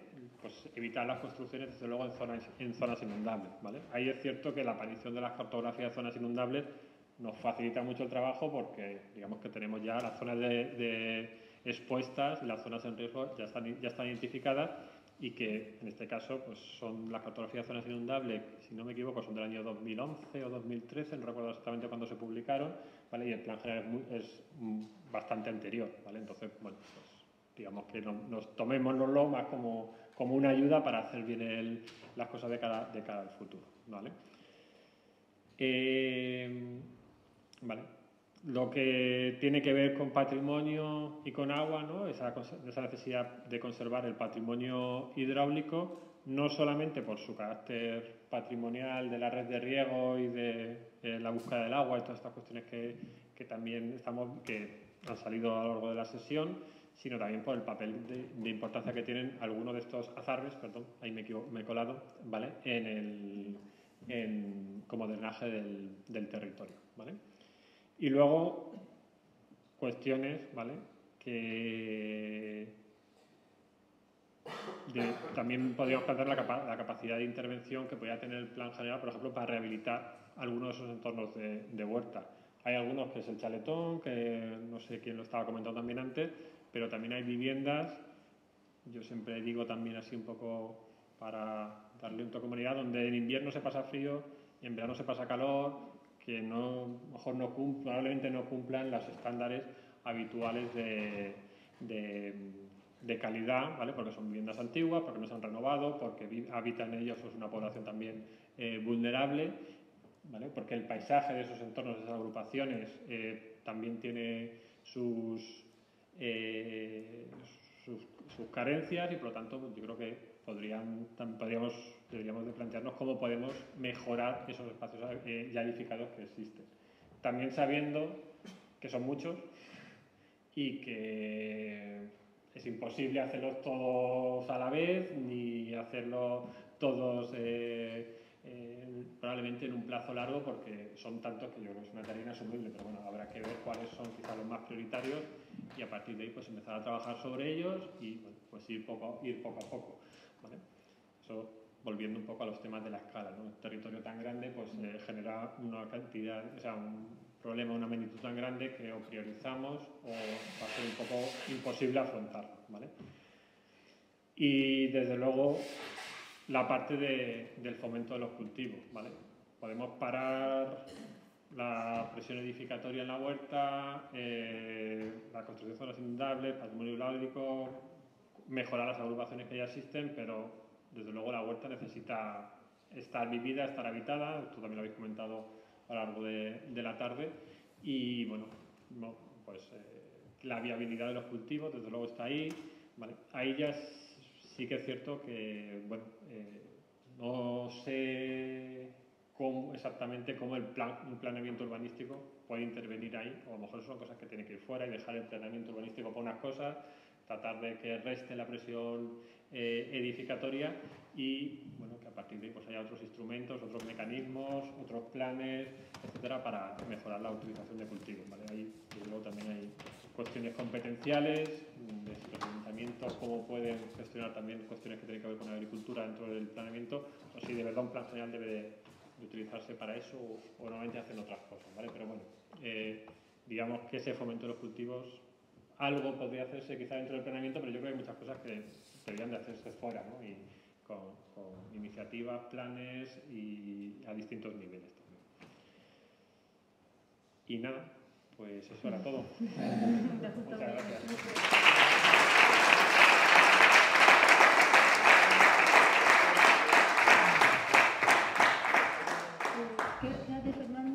Eh, bueno, tenemos ahora media hora, ¿verdad? Hasta las nueve, para eh, que podáis hacer las preguntas que queráis. ¿Y esta baja? Ahí.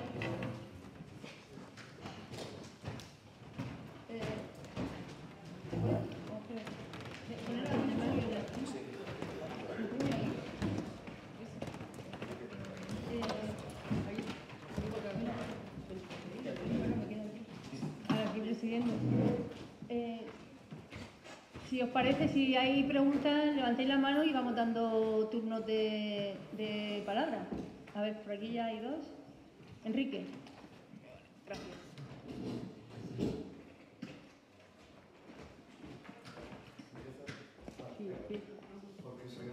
Ah, vale. Te va a pasar, José.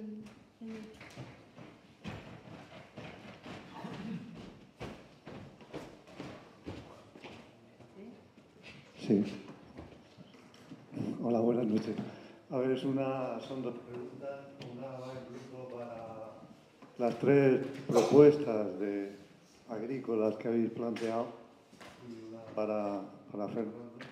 Eh, la primera es, habéis encontrado tres modelos de intervenir en el territorio con, de una forma muy adecuada a los recursos que presenta. Y, y la pregunta es si hay de este tipo o son las tres únicas experiencias de este tipo que existen ahora mismo. Por ampliación, ¿entendéis que los modelos que planteáis son modelos mm, que se pueden ampliar a más partes del territorio? O sea, el territorio da para mucho como eh, en esta actividad, como, como actividad empresarial, como actividad de negocio, ya no solamente los valores medioambientales y demás ya lo sabemos y son desfavorables. Y, y bueno, valorar un poco si, si entendemos que en la huerta hoy por hoy admite un, actividades de vuestro tipo, pero desarrolladas de una forma amplia por, mayor sector de población. Una pregunta, y la pregunta a Fernando, que al final ha, ha respondido un poco. Eh, los estudios que has planteado son para eh, empezar con la revisión del plan general. La situación que me altera un poco es que estas revisiones, vista la experiencia, pues suelen tardar 10, 15, 20 años habitualmente en, desde que se empiezan hasta que se terminan o medio se terminan porque no acaban nunca. Entonces, la pregunta es bastante concreta, o sea, ¿este estudio sirve para plantear actuaciones con los recursos que presenta ahora mismo el plan general? Quiero decir, tal y como está el plan organizado, el planeamiento vigente, ¿habría forma de enfocar soluciones para actuar sobre esas cuatro situaciones que, que habéis estudiado?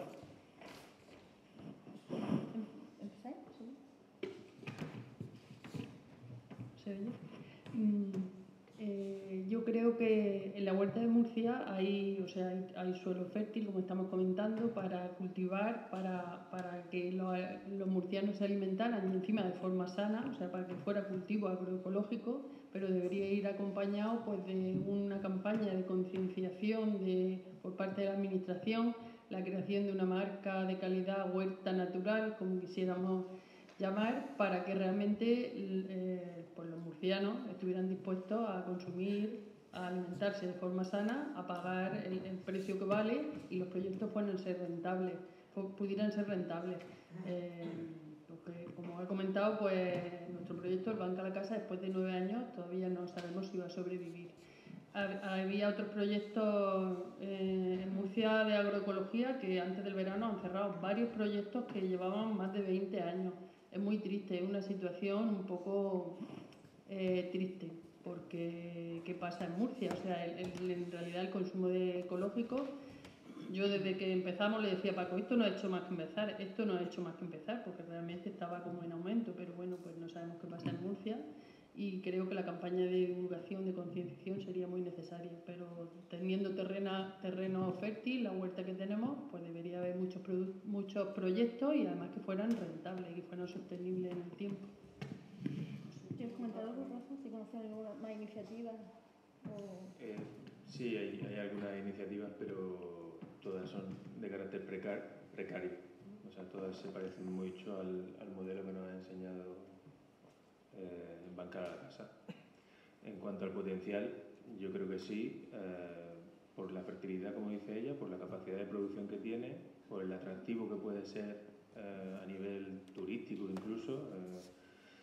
y el ejemplo lo podemos ver en, en, la huerta de Valencia, que era una huerta también con mucha presión urbanística, con mucha dejación de cultivos y en cuanto han habido ciertas políticas que han empezado a fomentar el, el consumo de, de verdura de la propia huerta periurbana, han empezado a salir como setas porque realmente hay gente dispuesta a recuperar cultivos, a, siempre que haya un valor añadido en, en la producción. Y demanda. Y demanda, sí. El básico es la, el apoyo institucional. ¿no? El tema que han hecho con los comedores de, de, meter parte de la producción a los comedores de, los colegios del, municipio de Valencia, pues claro, pues un apoyo que, a este tipo de, de iniciativas, que no es eh, subvencionar ni es mm, mover el mercado en ese sentido, es simplemente dar una prioridad al cultivo de cercanía, kilómetro cero, que es algo que se utiliza, que está en las directrices europeas que le llegan a los municipios, que todo esto, pero después no se articula como, como debería para que iniciativas cercanas, kilómetro cero, ecológicas, realmente puedan tener, sí, bueno, me están diciendo, lo hemos dicho desde hace ya mucho tiempo, se ha hablado con la administración anterior del municipio como con la propia, eh, Murcia merece un mercado de proximidad en el centro de, la ciudad, como una, o sea, desde un punto de vista para hacer visible a estos agricultores, pero también como un punto de vista turístico, como un punto de vista eh, incluso de salud para, para la ciudadanía. ¿no? Y esto pienso que tarde o temprano llegará, no sé. A ver quién es el valiente. Qué buen macho. ¿Quieres decir algo, Bueno, yo quería decir que sí que es cierto que desde que nosotros empezamos en la asociación había bastantes proyectos muy bonitos a desarrollar en la zona de huerta y poquito a poco han ido cayendo porque en realidad eh, creemos que, es necesario que haya una concienciación por, parte de la ciudadanía y otra muy importante por parte de las instituciones. Si intentamos eh, concienciar a la ciudadanía de los beneficios de la alimentación sana, del cuidado de los espacios, del suelo fértil, pero las, instituciones no acompañan, mm, es un trabajo que al final se hace cuesta arriba. Normalmente las personas que, que comienzan esta clase de iniciativas son personas, por lo menos en nuestro caso y en las que más o menos conozco, con unos recursos muy limitados que además intentamos no pasar por las instituciones para no vernos eh, de ninguna manera obligados a hacer cosas que no, que no nos gusta hacer, que consideramos que no son justas con el trabajo que estamos desarrollando.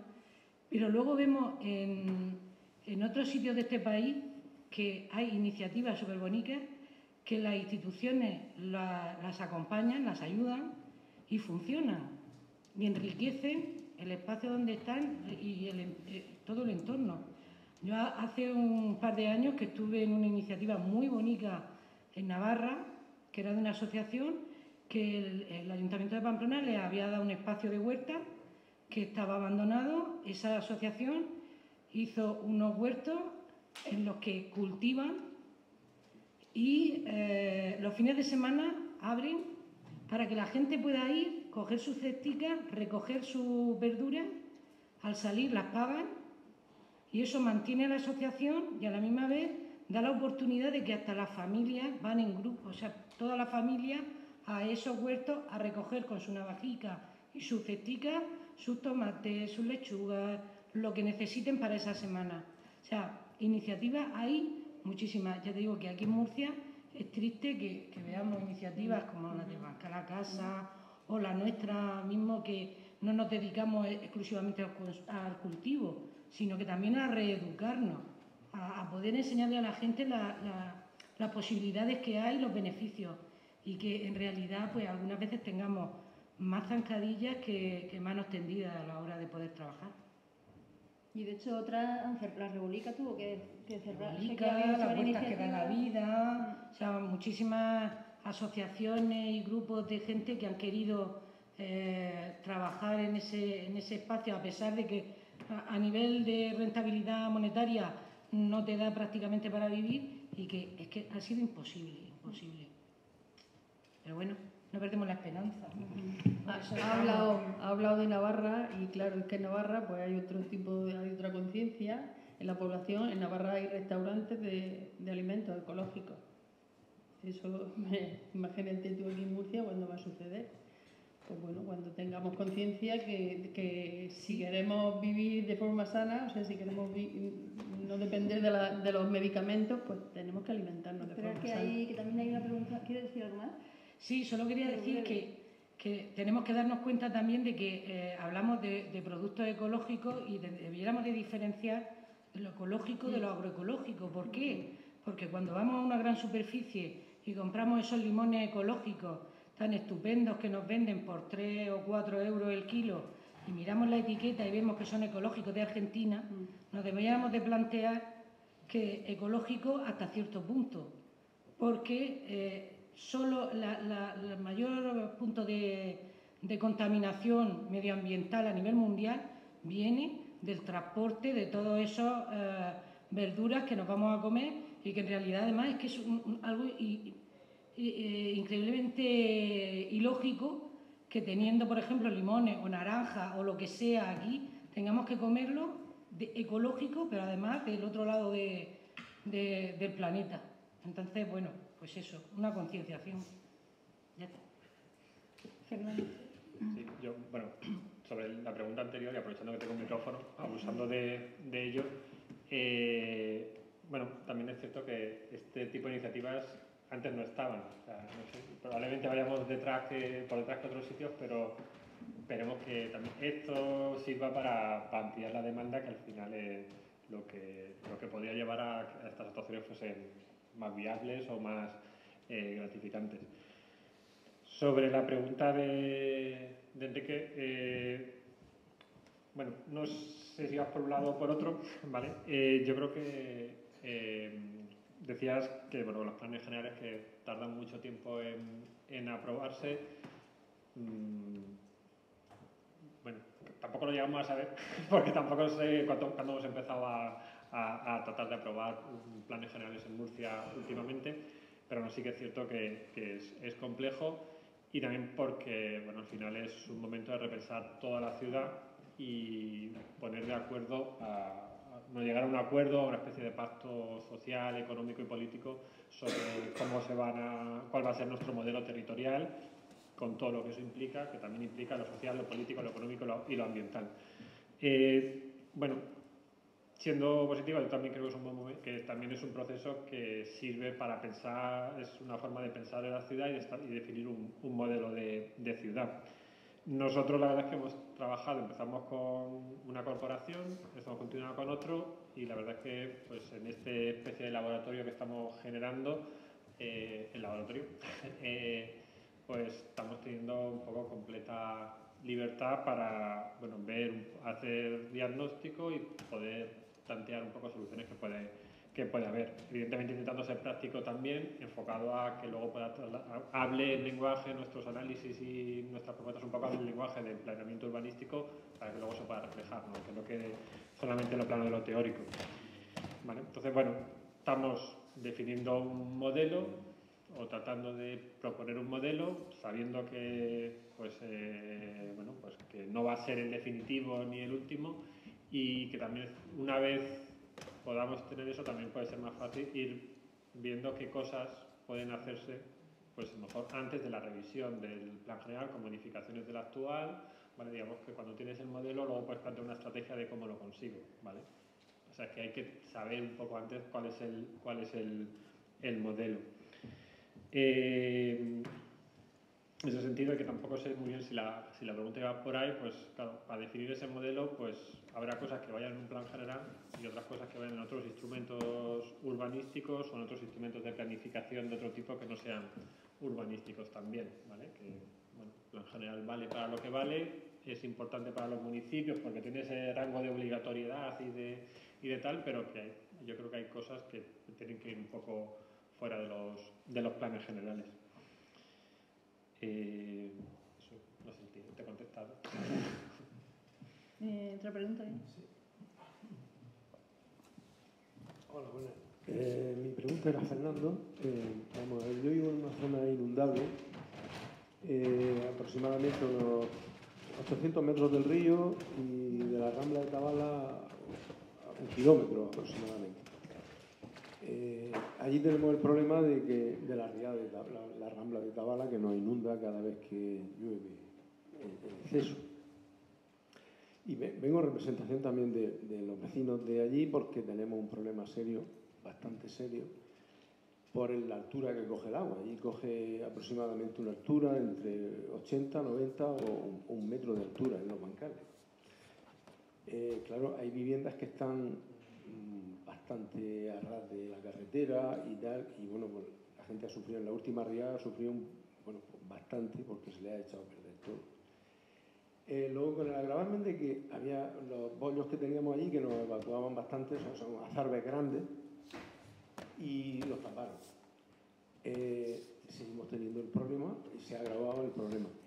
La pregunta, la pregunta es, ¿hay algún, hay en ordenación urbana, o sea, se ha hecho algún plan? Porque claro, estaba pendiente lo de la presa de Tabala y con el fin de retener un poco el agua si hay algún plan o bien de confederación, de hacer tipo de, mm, es que no sé cómo se llama, son barreras, barreras de, la rambla, barreras de piedra permeable para ir reteniendo de el, agua que, venga con menos fuerza. Porque claro, toda la zona de esa montaña desde Sucina para abajo, todo eso va a esa zona de Tabal. Y nosotros estamos enfrente. O sea, Alquería, Beniel y toda esa zona, y todo eso sin duda. Si había, algún, si había hecho algún problema, algún programa de, ordenación urbana, de qué hacer para evitar eso, porque dado al, entubamiento de, de, las azarbes que había allí, son, se llaman bollos en la zona esa, bueno, pues se ha, se ha, agravado. Si había algún plan de ordenación urbana que, que, de alguna manera defienda eso, allí es una zona, una zona de agricultura bastante intensiva, o sea, todo, todo lo que hay está es raro que vea un huerto que esté sin cultivar, está todo cultivado prácticamente. La pregunta es si, si hay algún plan que, que, de alguna manera defienda y, mejore la posibilidad de inmigración en, en, esa zona, porque eh, estamos perdidos allí. cuando hay una avenida grande, pues, nos ahogamos. Eh, no trabajo en la administración, o sea, puede ser algo que se me escape, pero hasta donde yo sé, creo que no, ¿vale? Bueno, no sé exactamente las medidas que está previendo Confederación, cuáles son las de, las de esa zona.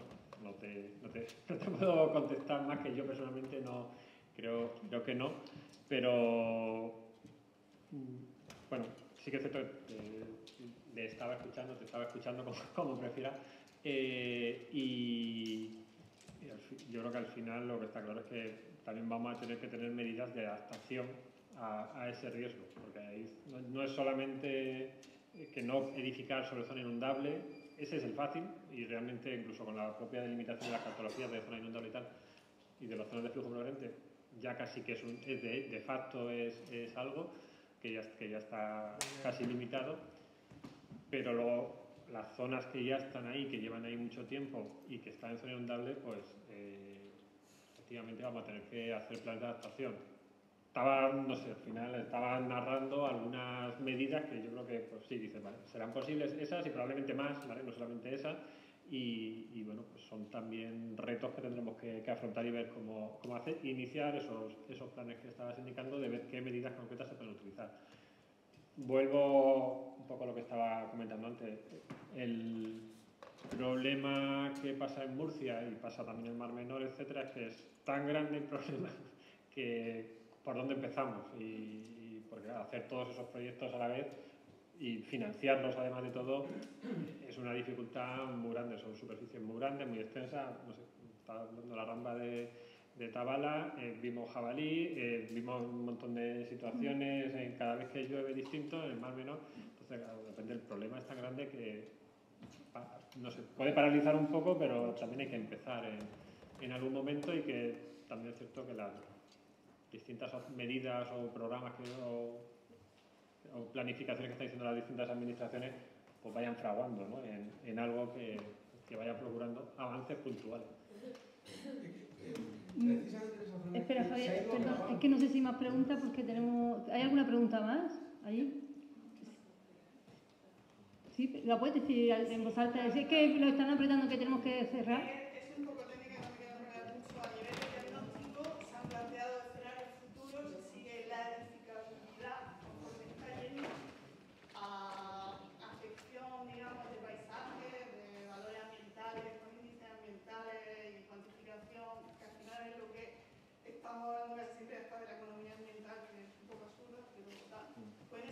si si en el diagnóstico pues, se ve escenario futuro para ir avisando un poco qué puede pasar en, en, una, en un escenario, ¿no? En gran escenario. Claro. Eh, bueno, estamos ahora un poco en la fase final tratando de proponer, de llegar a una, una fase de, propuestas en las que vaya un, como un, es- un escenario de una, propuesta y quizá con distintas variables de, de. Eh, y bueno, ahí lo que pasa es que bueno, son, estamos un poco cerrándolo todavía, por eso tampoco hemos contado nada, porque tampoco, tampoco está, está cerrado en esta, en esta fase. Vale, eh, sí, por aquí.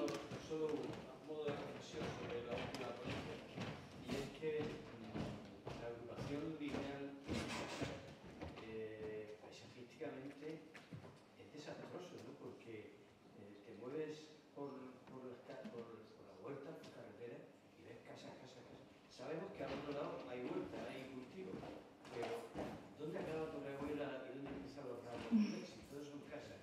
Eh, me refiero a eso, ¿no? Es una reflexión que parece que eso que es un paisaje muy de aquí de Murcia, ¿no? Eh, esa forma de edificar a lo largo de la carretera, todo, ¿no? No hay separación entre pueblo y pueblo.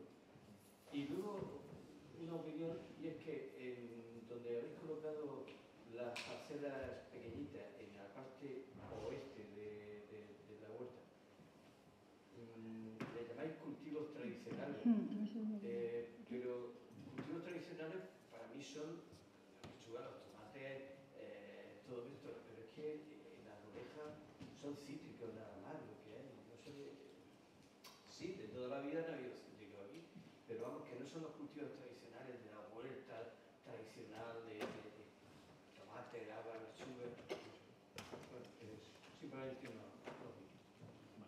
Sí, bueno, el tradicional era un poco cuanto al tejido, un poco del, de cómo se ha compuesto ese paisaje, de las parcelas más pequeñas, con los caminos más enrevesados, más, más, más iba un poco por ahí. Quizá lo apunto porque a lo mejor el término no es, no es el adecuado. Y la- sobre las agrupaciones lineales, bueno, es un paisaje que efectivamente tiene mucha, eh, mucho impacto sobre, sobre la huerta y bueno, nos- yo, claro, también, desde luego, o sea, pueden, decir, escenarios de ordenación podemos tratar de frenar y yo creo que es más factible que esos paisajes pues sigan eh, como condensándose y afectando más a la percepción de la huerta, etc. Otro escenario que podríamos buscar, aunque creo que muy complejo, desde luego sería muy costoso, es buscar revertir la situación que bueno, probablemente a nivel de modelo sería lo más deseable, pero creo que es una propuesta bastante bastante realista, bastante poco realista. Entonces, por ahí también ah, cuando hablaba de todas estas agrupaciones, podamos intervenir sobre ellas o rehabilitarlas de alguna manera, pues a lo mejor es pues, una también una cierta planificación eh, y programación y priorización, vuelvo a lo mismo, eh, pues eh, ver cómo podemos mejorar ese paisaje teniendo en cuenta que ya hay unas edificaciones ahí, ¿vale? Pero bueno, también es cierto que hay luego parcelas que están abandonadas, que hay, incluso cuando es una agrupación lineal, pues eh, suele haber luego pues una parcela libre que permite ver pues la huerta que hay detrás, un poco trabajos de paisaje y de ordenación de esos paisajes en concreto para ver hasta dónde es posible también mejorarlo. ¿no? Hay una cuestión también de las, en las agrupaciones lineales o en, o en esos eh, caminos que, bueno, hay edificaciones, pero no hay espacios libres, no hay aceras, eh, no hay, a lo mejor no tiene que haber una acera, pero tiene que haber un, eh, no todos los carriles tampoco tienen bajo por ser iguales. Un, cami- un carril principal puede ser un carril con más diseñado al coche y un carril secundario, pues a lo mejor tiene otras características para que el, el huertano o peatón y el caminante y el coche puedan convivir de alguna manera. ¿vale? Actuaciones pues, de mejora de, eso- de esos paisajes. ¿vale? Eh, bueno, nos, nos tenemos que ir la- por la hora. Eh, gracias. No podemos no hay tiempo para más preguntas. Queremos agradecer a, a los cuatro ponentes la, la asistencia. Creo que ha sido muy enriquecedora la, la tarde. Y bueno, gracias por venir y, participar en esta, en esta jornada y también le queremos agradecer al Ayuntamiento la posibilidad de, de contar con nosotros para, para esta jornada. Así que nada, muchas gracias.